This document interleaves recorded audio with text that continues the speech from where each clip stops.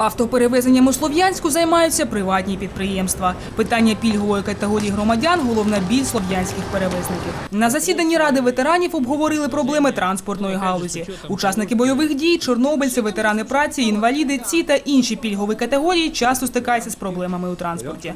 Водії порушують правила надання транспортних послуг. За поточний рік у виконком надійшло 94 звернення. 44 з них звернення від ветеранів праці. У цьому році такі звернення стали направляти до правоохоронних органів.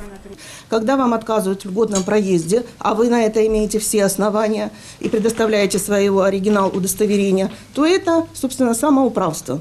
И такие вот обращения мы направили в нашу милицию. 15 таких звернень розглянули за статтею 365 Кримінального кодексу за самоправство. Втім, члени Ради ветеранів нарікають, що ця проблема не вирішується і пільговики вимушені платити. инвалидам отказывают и так далее. Даже э, за полцены не везут. Полностью просят оплачивать. Это зависит от местных властей. Если дадут указания, они будут четко исполнять его. Я инвалид третьей группы, я езжу за полную стоимость маршрутки. А чим вони це мотивують? Мотивируют тем, что инвалиды третьей группы под категорию не проходят. Кондукторші показую, от це і от це. Кажу, що вам треба? А вона каже, рубель. А от це, кажу, у мене втора група, а це не треба. Вы никаких мер не принимаете. Это говорит о чем? О безвластии в стране и о безвластии в городе. Не все так барвисто у перевізників. На 100-тисячний Слов'янськ припадає понад 40 тисяч пільговиків. Розмір компенсації однієї маршрутці складає лише 17 гривень на день. Если льготчики сейчас нас не поддержат, то мы просто не сможем работать. За день на рейсах проходить 100-150 пільговиків, що значно б'є по прибутку перевізників. Было бы правильно, б, если б пенсионерам бы добавили льготную вот эти деньги на проезд. И пусть бы они платили. А так они катаются с утра до вечера, а нам с этого не легче. Никто льгот не отменял, и большинство ездят бесплатно.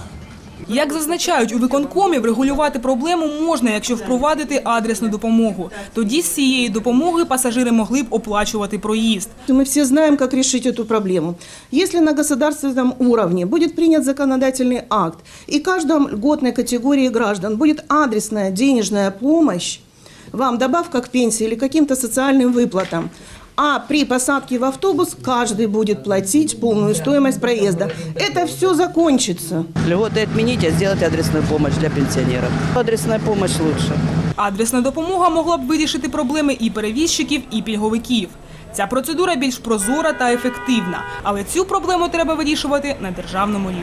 Мы сейчас э, в очередной раз просим э, правительство, которое будет вновь создано после выборов в Верховную Раду, э, мы будем э, обращаться к э, нашему избранному кандидату, тогда уже будет представителю Верховной Рады, чтобы на законодательном уровне у нас сейчас были приняты законы об адресной помощи, об адресной компенсации всем льготчикам, э, в том числе за перевозку льготной категории населения. Когда эти деньги будут э, выделяться непосредственно льготчику, тогда отпадут все вопросы в льготном проезде, и каждый житель города Славянска будет сам для себя решать, на какие цели потратить эти средства. То ли поехать в автобусе, то ли купить лекарства, то ли где-то на хлеб.